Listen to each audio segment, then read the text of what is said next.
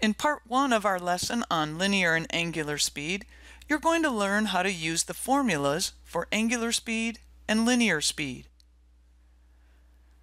Consider a point rotating around a circle whose radius is r. So here's our circle. The radius is r. During time, t, the distance the point travels is the arc length, s.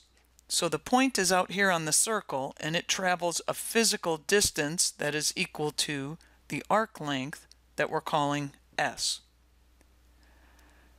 Now the central angle will turn through an angle of theta during that same time. So the point starts here and ends up here. So theta is the amount of rotation of the central angle. So that will be in radians. S is the physical distance traveled by the point on the circle.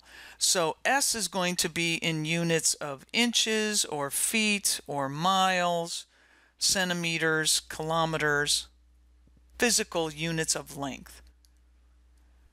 Now, angular speed, which is represented by the letter omega, I know that looks like a lowercase w, but it is actually omega.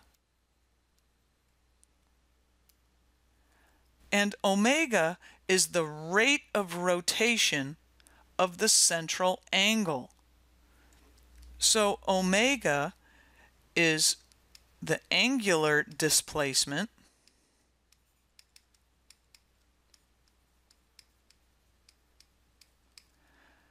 divided by time. And when we say angular displacement, we're saying through what angle did the central angle rotate? So that's theta.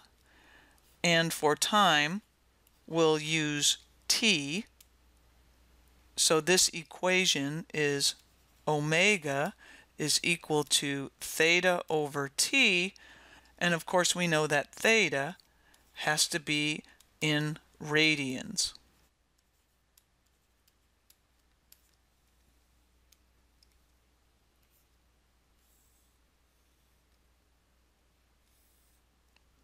The units of omega are going to be units of the angle, which is radians, divided by units of time.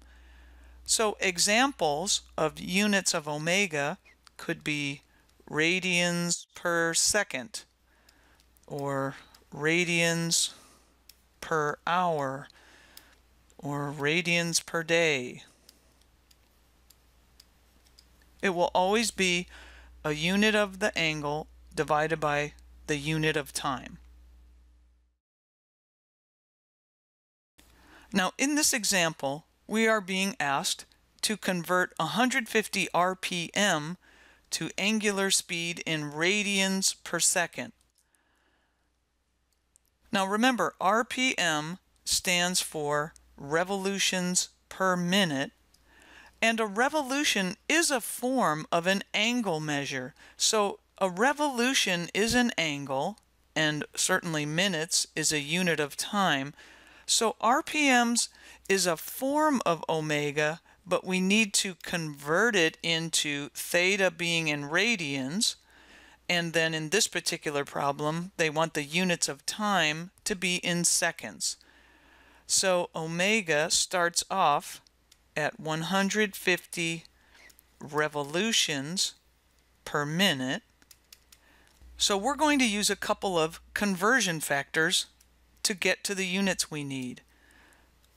We know that we don't want revolutions, so I'm going to put one revolution in the denominator here. And we do want radians, so we know we have 2 pi radians here. And we can see that revolutions in the numerator is going to cancel with revolutions in the denominator.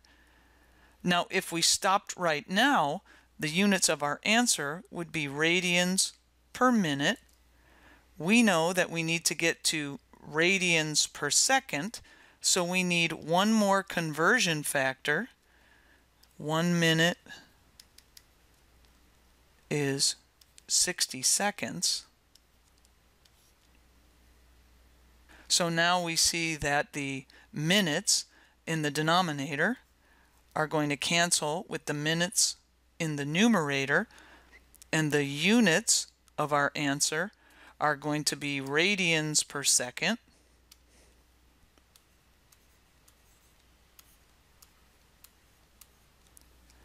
And then now we'll see if we can do some canceling here. We know that 2 goes into 60 30 times. And then we know that 30 will go into 150 five times. So we see that our angular speed is going to be 5 pi radians per second.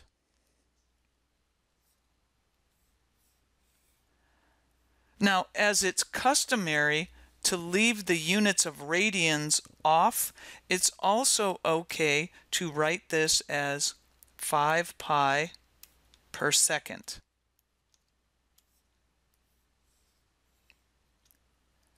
Either form of this answer is okay because it's customary to leave the units of radians off.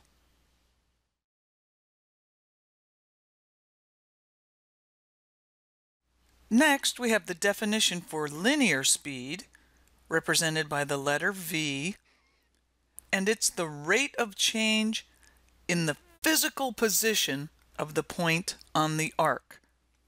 So this will be how fast the point moves through the arc length. V is the physical distance traveled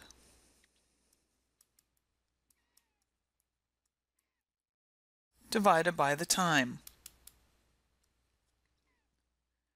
Now we know that the physical distance that the point travels moving around the circle is the arc length, which we call S.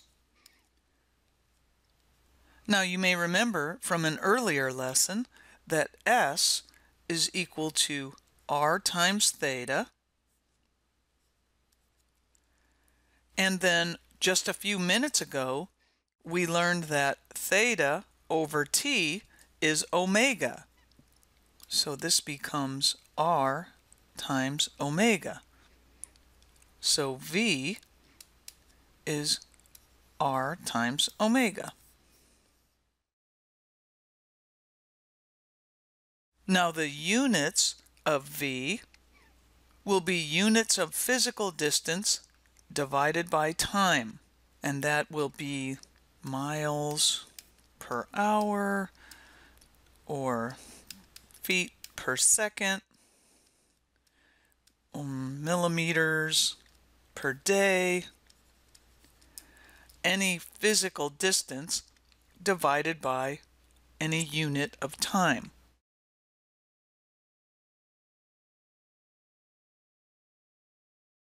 In this example, we're told a point on a circle moves through 100 degrees in 5 seconds. So say the point started here. We know the central angle would be 100 degrees and the point would end up over here.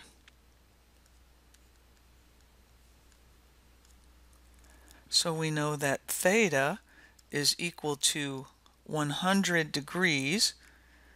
We need theta to be in radians, so we might as well go ahead and do the conversion right now. Our conversion factor is pi over 180 degrees.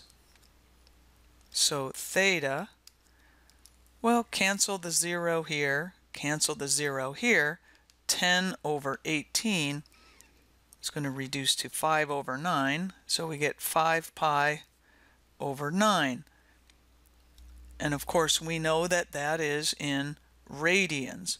You can choose to write it or not, but it's in radians. We're also given that time is 5 seconds, so we can make a note of that. t is equal to 5 seconds we're told that the radius of the circle is 12 centimeters. So the radius is 12 centimeters and we can include that in the diagram. And we're being asked to find the angular speed and linear speed of the point. So we know that angular speed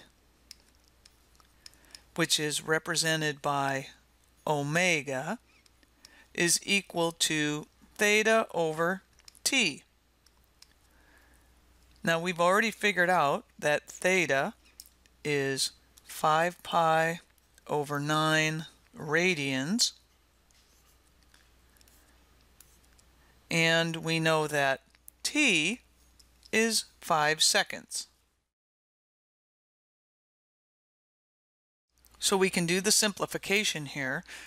The 5 in the numerator here is going to cancel with the 5 in the denominator here.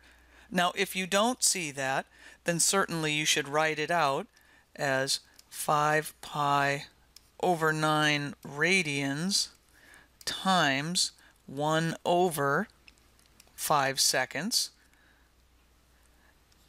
And we discover that omega is going to be pi over 9 radians per second. Now it's very customary to write this as pi over 9 per second and leave the units of radians off. Either way of writing this is acceptable. When we go on and do the next calculation, we're going to want to use this form. So it's always okay to give your answers for omega in this form. This is really what they are, but we leave the radians off and you'll see why in just a minute. Now the linear speed we know is v is equal to r times omega. Really easy equation to use. Once you have omega, you're just multiplying times r. So this is going to be 12 centimeters times omega, which is pi over 9 per second.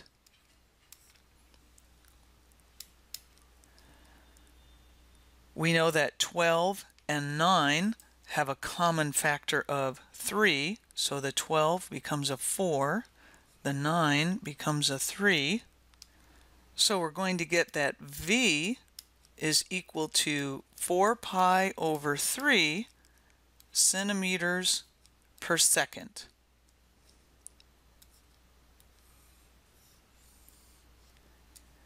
And hopefully this will help you understand why we leave the radians off of the units. When we look at these units, we know velocity, it's like the speedometer in your car. It's going to have to be units of distance divided by units of time. It needs to be centimeters over seconds or as in your car, miles per hour. So in this equation, r is in units of length, centimeters. Omega is in per unit of time, so the units will work out centimeters per second. If we had written the radians in here, it's a little harder to see the units as centimeters times radians over seconds turning into centimeters per second. Now also you want to make sure you understand what each of these numbers means. Omega tells us how fast the angle is changing. So if you were standing at the center of the circle, you wouldn't be walking anywhere. You would be turning in place at a rate of pi over 9 per second. And of course, that's pi over 9 radians per second. Now, the linear speed tells us how fast the point is moving along the arc length. So it is a physical movement. That's why it's in centimeters per second. So the point is changing location or position at a rate of 4 pi over 3 centimeters per second as it moves from its starting point to its ending point.